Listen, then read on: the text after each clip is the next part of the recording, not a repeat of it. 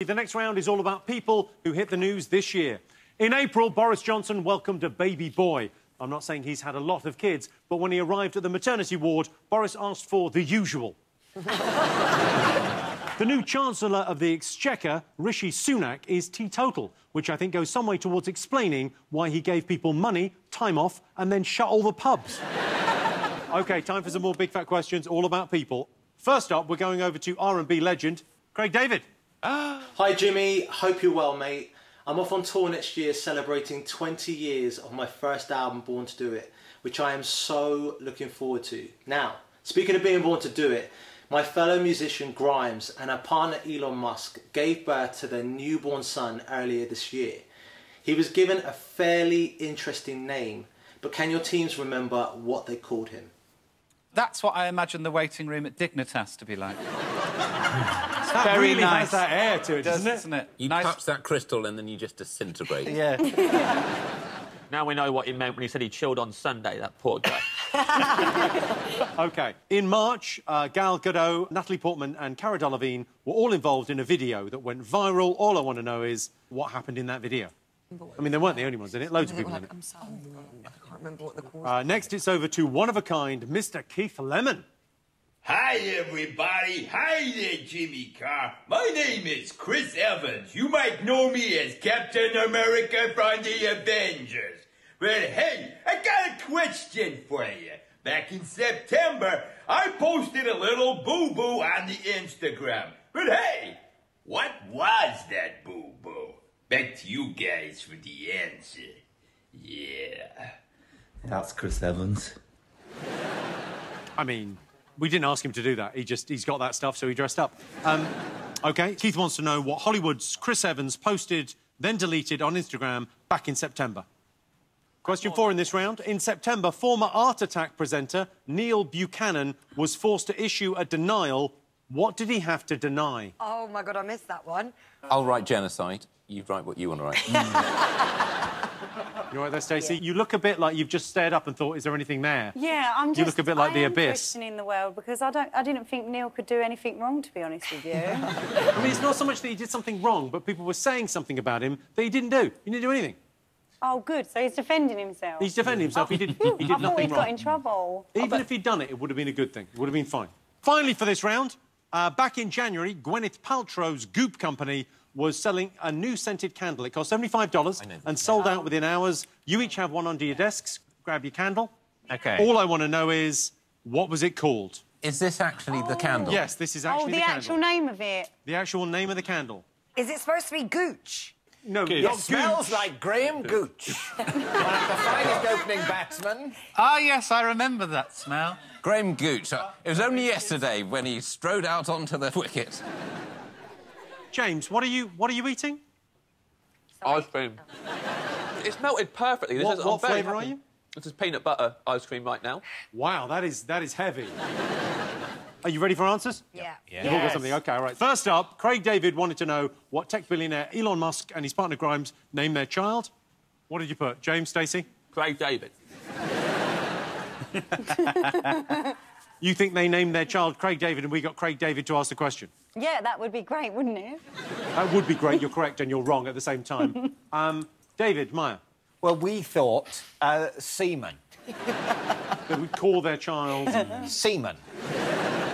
You've got to have respect for, you know, where you came from. Yeah. It's also, that wouldn't be a good name because Seaman Musk sounds... Oh.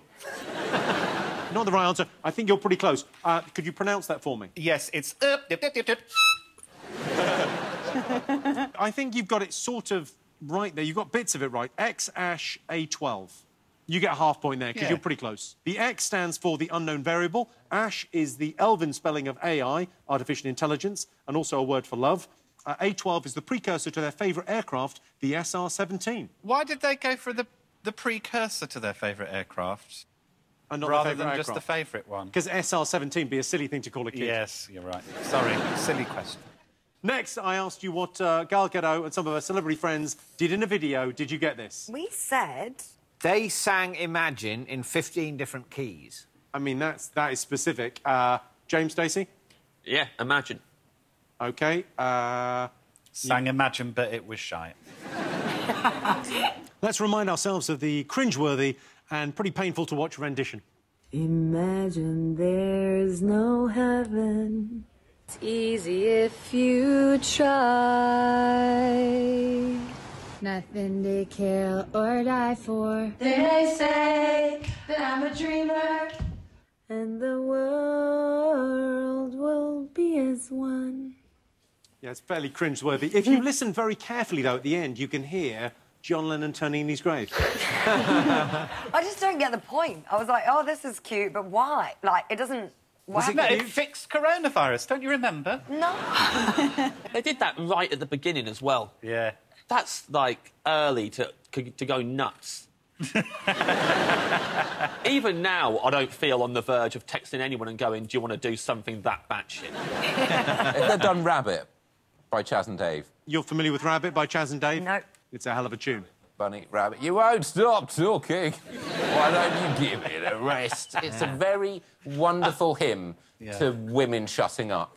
Okay. It's such a lovely sentiment as a song. It really is so nice. And especially at Christmas.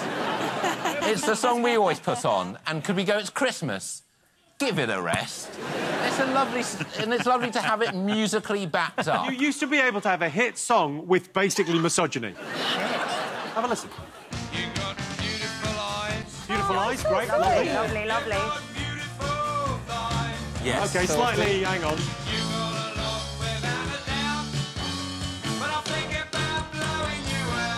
Because...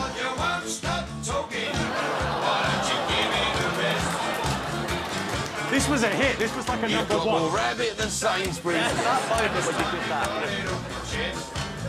Couldn't even get to Sainsbury's because she was always bending your ear. I've been trying to get Sainsbury's for days now. You don't stop talking. If that was the end credits to Loose Women, it would be so funny. Keith Lemon asked you what Chris Evans posted, then quickly deleted from Instagram in September. What did you put, uh, David? We guessed, so we just Yeah. put product placement for anus on. Oh, no, no, he, he showed the front, not the back. Um, Yeah. Joe, Richard? A picture of his privacy. What a lovely phrase. Thank you. Stacey, James, did you get this? Best day of my life in lockdown. it was just so exciting to see because you only ever see average everyday willies, don't you? And then so when you see like an A-list willy, you think, oh my goodness, this is like gold dust. I don't think there's a pretty willy out there though. Oh, How dare you? Sorry. Sorry, but there isn't. They all just look really sneaky. No, and like, hello. oh, hello.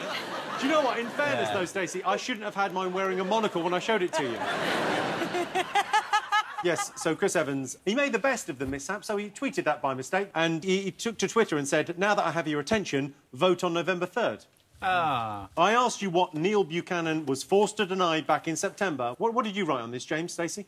We could only ever imagine that it was that he could fly, or Existence of God.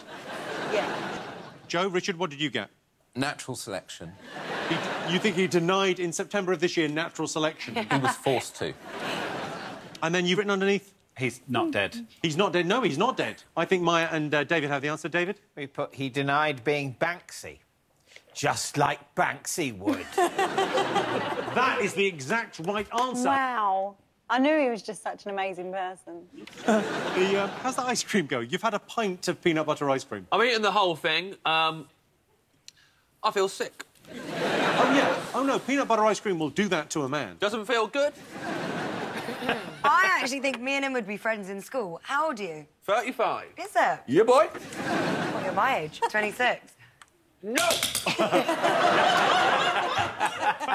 It's good you, you haven't got facial hair. You still look new. Yeah, I'm a new boy. Heart attack. Wow, you are on a sugar high. Never felt so alive. Finally, I asked you the name of Gwyneth Paltrow's candle. What have you got? Smells like my vagina. Uh, and you've gone with uh, Richard? This smells like my privacy. Yeah.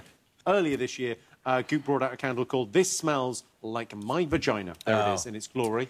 Points all round. If this is what her vagina smells like, it is a cause for medical concern. OK, time now for a very special bonus round uh, where I'm going to introduce a mystery guest. All you need to do is tell me who they are and why they made headlines this year. You can only ask yes or no questions. Please welcome our mystery guest. It's very nice to have you here. They can only ask yes or no questions. He made the news this year in a big way. We'll all be familiar with this story. Was it to do with the lockdown?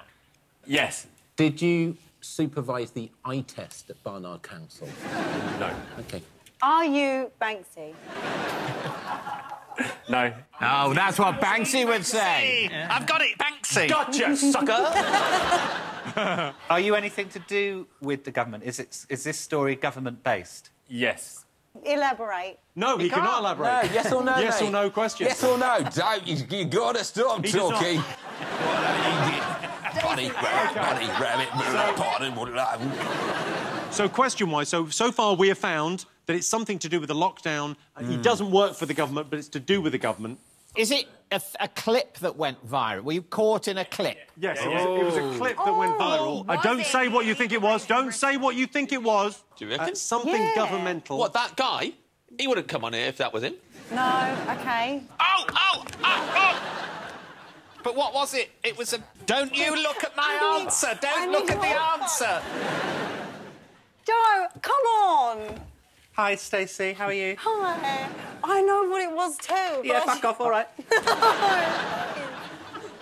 Who gave Joe those curtains? Um, Joe, Joe I Farrell. brought them myself. Isn't that clear? Uh, James Stacey, did you get anything? We were like masturbate live and we crossed it out. David, who do you think this man is? Wembley lasagna. Wembley lasagna. What do you mean by that? What I mean by that is that there was a hoax online, and people, some people it. believed it that they were making a giant lasagna in, In Wembley, Wembley Stadium, Stadium. to feed people during lockdown. OK, what do you, Joe? What did you get? Yeah, voice memo that went viral about a lasagna in Wembley. OK, uh, could you tell them who you are? I'm Billy, and I'm responsible for the Wembley voice note. Points, points, no points. We should hear it. Yeah. It's a fine, fine prank. Let's have a little listen. Also, just so you know, um, my sister, her boyfriend's um, brother, Sister's works for the Ministry brother. of Defence. Yeah, of course he they're does. basically worried that people are going to get stuck indoors without any food. Brilliant. So one of the things that they're doing is they're actually working on making a massive lasagna. um, so they're actually, at the moment, as we speak, they're building like the massive lasagna sheets. But they're having to make the special sheets, obviously, because they've not gone on big enough. Because they're making lasagna the size of Wembley Stadium. Looking forward to that because I do quite like lasagna as well. Uh, Billy, everyone. I mean, come on. That's terrific. So, um, where did you get the idea? There were just loads of voice notes going around at the time, and uh, I was kind of bored at home working, and I thought, do you know what, I'm going to stick stick something out there. Uh, apparently, a lot of your ex-partners have said they knew it was you because you're obsessed with lasagna. Yeah, A lot of your ex-partners. Apparently, he mentions lasagna a lot. yeah, yeah. There was quite a few. You Garfield. So at the end of that round, the scores are uh, James and Stacey have 11, just ahead David and Maya with 13 in the lead, uh, Joe and Richard with 17 and a half. wow. Wow!